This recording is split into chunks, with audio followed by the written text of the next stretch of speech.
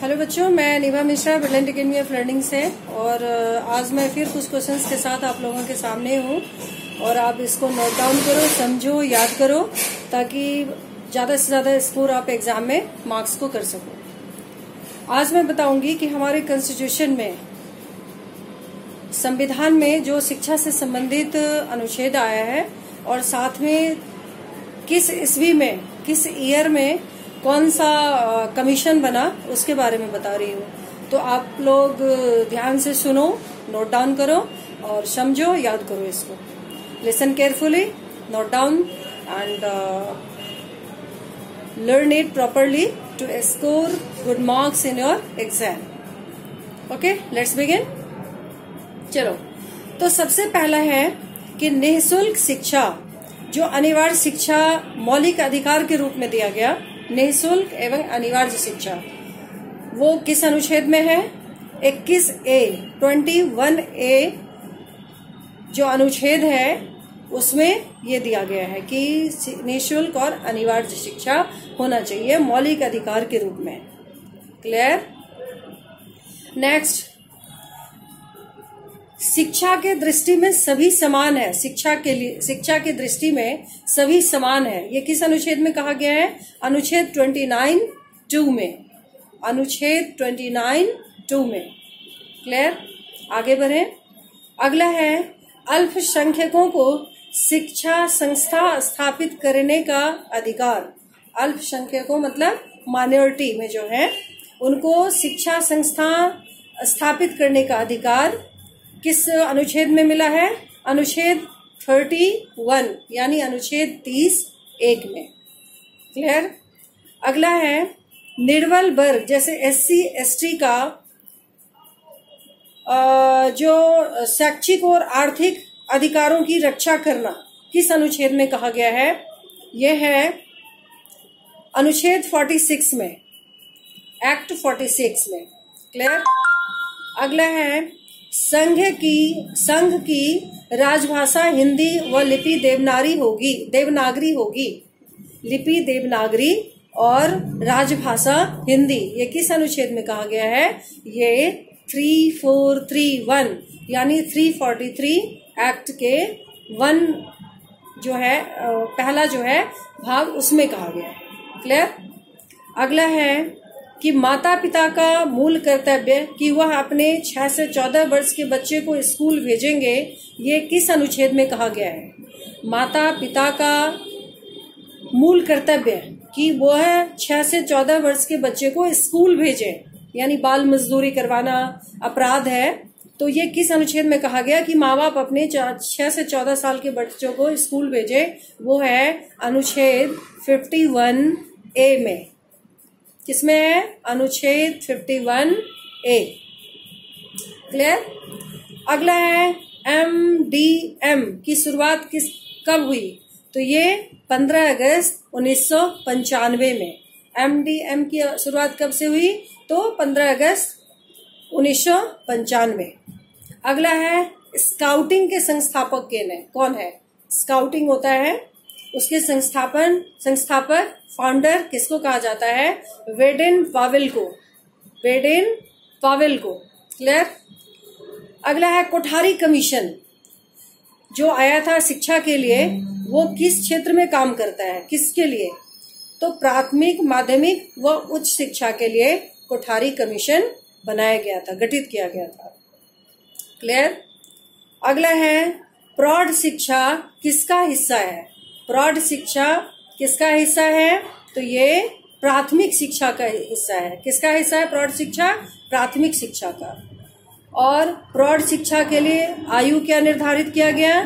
तो 15 से 35 वर्ष के उम्र में जो शिक्षा दी गई जाएगी, उसको प्रौढ़ शिक्षा कहा गया।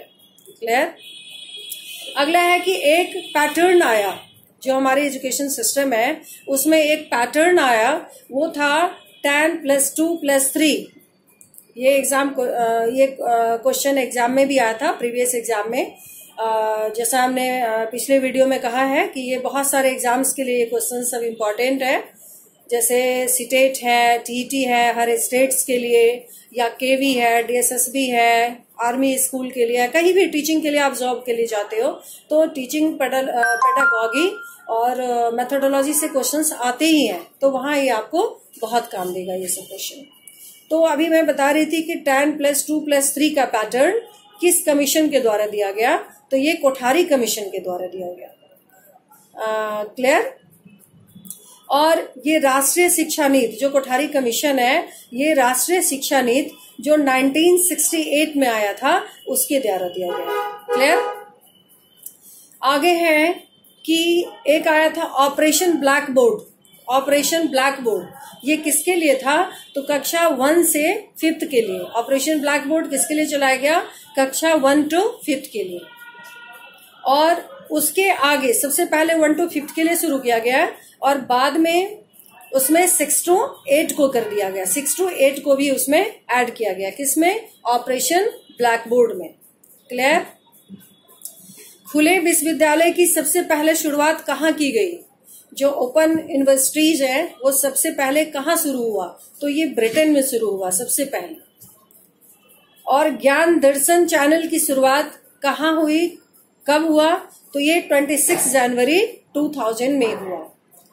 क्लियर अगला, पहला भारत का खुला विश्वविद्यालय ओपन यूनिवर्सिटी कौन सा है? तो ये आंध्र ओपन यूनिवर्सिटी है, आंध्र खुला विश्वविद्यालय। क्लियर अगला है उड डिस्पैच, जिसको शिक्षा का मैग्ना कार्टा कहते हैं, यानी एजुकेशन का मैग्ना कार्टा।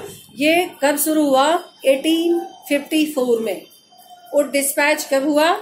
1854 में, जिसको शिक्षा का मैग्ना कार्टा भी कहा जाता है। क्लियर अगला है हंटर कमीशन कब आया? ये भी एजुकेशन के लिए है। तो हंटर कमीशन 1882 में आया। हंटर कमीशन कब आया? 1882 में। अगला है हार्टोंग कमेटी कब आया 1928 में। क्लियर नेक्स्ट सार्जेंट प्लान कब आया सार्जेंट प्लान ये 1944 में आया। अगला है all India council for technical education जिसको शॉर्ट फॉर्म में A I C T E कहते हैं। All India council for technical education जो नवंबर 1945 में आया था। ए आई सी टी कब आया? 1945 में।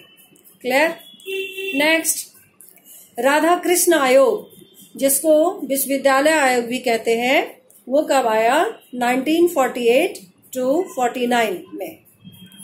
राधा कृष्ण आयोग कब आया? 1948 टू 49 नेक्स्ट मुदालियर आयोग है, जो माध्यमिक शिक्षा आयोग के भी नाम से जाना जाता है। ये कब शुरू हुआ?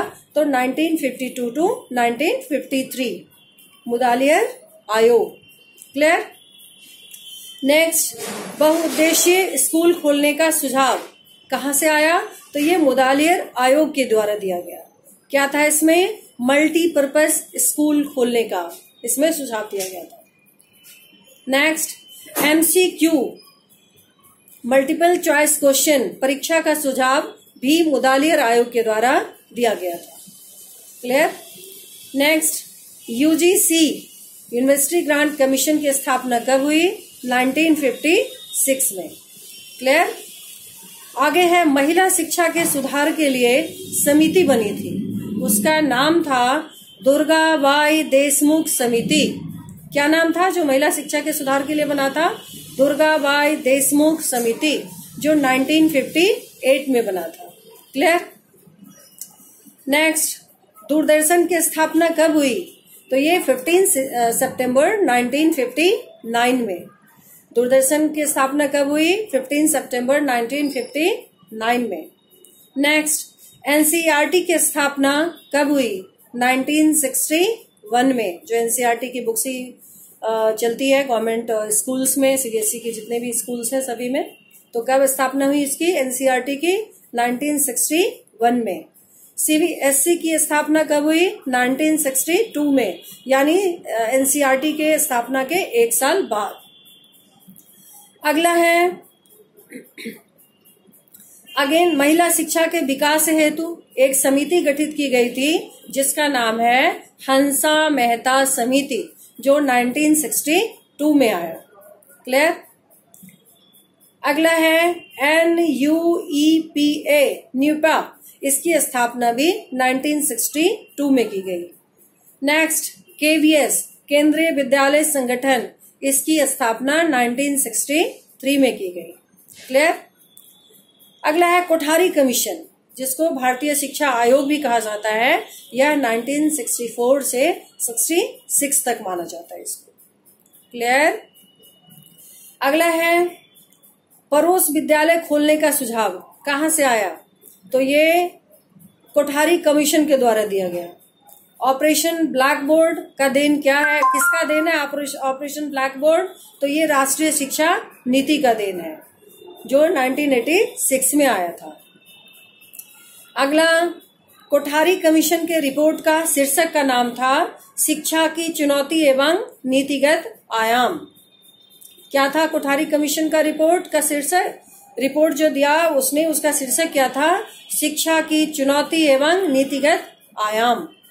इसको इंग्लिश में हम कह रह सकते हैं challenges of education and dimension of its rules morality you can we can say next राष्ट्रीय शिक्षा नीति यानी एनपीई की शुरुआत कब हुई? 1968 में। भारतीय वन्य जीवन अधिनियम कब शुरू हुआ? 1972 में। क्लियर इग्नू की स्थापना कब हुई? 1985 में, जो Indira Gandhi national open university है, वो 1985 में इसकी शुरुआत की गई। और मानव संसाधन विकास मंत्रालय एम एच आर डी कब बना 26 सितंबर 1985 में। क्लियर राष्ट्रीय शिक्षा नीति 1986 में भी बना है एनपी एनवीएस नवोदय विद्यालय संगठन की स्थापना 1986 में हुई है। और ये देन किसकी है? तो ये आ, 1986 में जो एनपी था उसी से बना है एनवीएस भी थैंक यू तो फिर अगले वीडियो में इस और भी कुछ नई और भी कुछ नए क्वेश्चंस और उसके उत्तर के साथ मैं आऊँगी आंसर के साथ आऊँगी ताकि आप लोग को बेनिफिट हो। धन्यवाद।